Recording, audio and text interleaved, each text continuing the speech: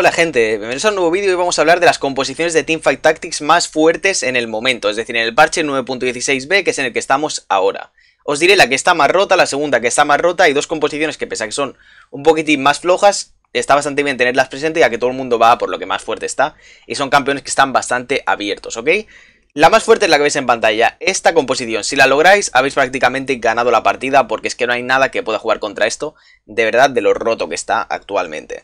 La idea es pillar nobles, vamos a pillar Blade Masters, vamos a pillar pistoleros y si podemos imperiales, pero esto ya estaría fuera de la composición. Es la que veis en pantalla, tenemos los nobles que son Leona, Garen, Kale, Fiora, Lucian y Bane, ¿ok? Pensar que la pasiva de nobles, por cierto, se aplica a todos los campeones de nuestra composición, así que no solo a estos seis, sino a todos los que tengamos en el equipo. Tenemos Gunplan, que nos ofrece tanto los pistoleros con Lucian como Blade Master. Y finalmente Driven, que es el carry principal de esta composición. Lo que vamos a hacer es darle todos los ítems a Driven, así de claro.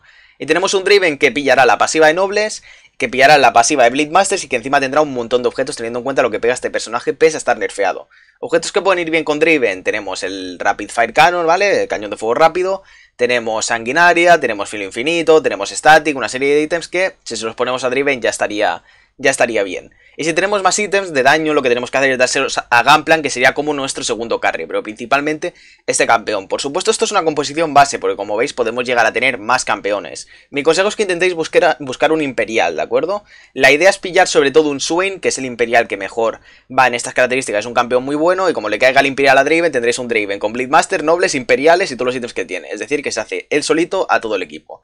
Por supuesto, siendo protegido por tanto las pasivas como la frontline que tenemos nosotros. La siguiente composición, que es la que se considera que está un poquitín más flojilla, pero aún así es muy fuerte, es la que veis en pantalla. Es una composición similar, pero lo que vamos a hacer es buscar una Jinx super bufada. Los ítems van a ir a por Jinx y a por Lucian sobre todo, ¿ok? Estos serán nuestros dos carries, teniendo en cuenta que vamos a aprovechar más la pasiva de pistoleros. Es más fácil de conseguir que la otra, pero no tan buena. Tened presente también que como todo el mundo va por Draven, y esto es una baraja conjunta, si nosotros vamos a por Jinx, es más probable que nos toque por el simple hecho de que no todo el mundo va por Jinx, aunque sea una campeona popular, no es tanto como Draven. ¿Ok? Y es más fácil que la consigamos. También os aviso que tanto esta composición como la anterior tienen un punto débil o varios puntos débiles muy potentes. El primero es que necesitas lanzar una composición de late game. Eso quiere decir que hasta que llegue el late game a lo mejor estás a 10 de vida y la hemos liado o incluso te matan.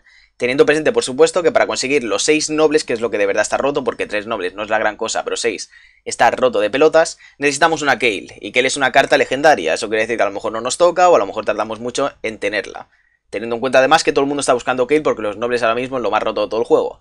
O sea que en ese sentido podemos tener bastantes problemas al respecto. Así que esta composición y la anterior, tener presente que están muy fuertes, pero ojito cuando podamos llegar o no a esta situación buena para nosotros. Y ahora os voy a decir dos composiciones más que pese a que no son tan fuertes como las otras, ni de lejos, como casi nadie está yendo a por estos campeones y aparte están bastante bien, hablando claro, nos puede salir muy rentable ir a por ellas, y teniendo presente por supuesto que no necesitamos tener los seis nobles como las otras composiciones. La primera es la que se conoce como Vacío, mmm, Sorcerers y al mismo tiempo Brawlers, ¿de acuerdo? Esta estaba súper rota el parche pasado, ahora no tanto, pero sigue siendo rentable. Lo que vamos a buscar es un Casadin, un Blitzcrank, una B, un Rek'Sai, un Cho'Gath, un Aurelion Sol y finalmente un Cartus, ¿ok?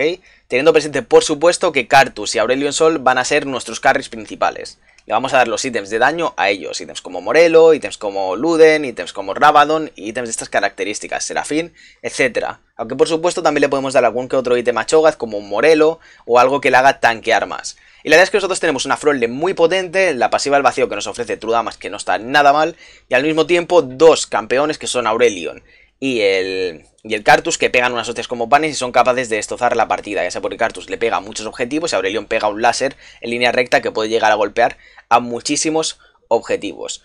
Por supuesto, en este sentido, lo que yo recomendaría también es, si podéis pillar un, un Kindred o un eh, Mordekaiser o algo por el estilo, para pillar la pasiva del Phantom, que también está muy pero que muy bien.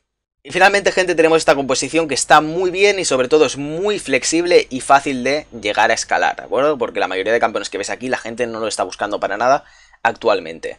Tenemos un Mordekaiser, Sejuan y Poppy que nos da la pasiva de caballeros y será nuestra frontline principal. Y tenemos a la, backlink, a la backlink que son los que pegan de verdad, que tenemos a Bane, a Kindred, a Varus y a Ashe. Los ítems, sobre todo a Varus, y a ese si le podéis poner algún Shojin o algo está muy bien porque no para de spamear flechas que junto con el glacial de Sejuan y les permite estar eh, mucho, bueno, nos permite que el enemigo esté mucho tiempo congelado, pero principalmente el daño viene de, de Varus, ¿ok? Ten presente que tenemos una Froling que está muy bien con estos tres campeones, que aparte son Knights, si podéis buscar un Knight más estaría todavía mejor, ya sabéis que esta es la composición base. Y aparte, que cecean, se juegan y meten a ulti, los tiene mucho tiempo parados, Marla Asher, Glacial, todo el rollo. Es una Froling que gracias al CC y lo que tanquean pueden mantener al equipo rival o los carry rivales mucho tiempo. Y al mismo tiempo tenemos toda la Badling que le están reventando y en el momento que se nos muere la Froling, gracias a la ultimate de Kindred, somos capaces de tener este As bajo la manga para poder aguantar más de lo que deberíamos. Por supuesto también destacar la pasiva del Phantom que hemos dicho antes, que nos puede quitar algún campeón fuerte de encima. Pensad que esta pasiva en late game se nota muchísimo, por el simple hecho que a lo mejor tienen una frontline ellos de level 3 con un montón de ítems y que es imbajable y gracias a Phantom se nos queda a nada de vida. O alguna situación similar o algún carry suyo potente se muere y gracias a este Phantom, por mucho que sea aleatorio, nos puede dar una victoria muy pero que muy buena. Sobre todo destacar de esta composición que casi nadie está buscando los campeones que vemos aquí por lo que es relativamente fácil de conseguir y al mismo tiempo es súper súper súper flexible.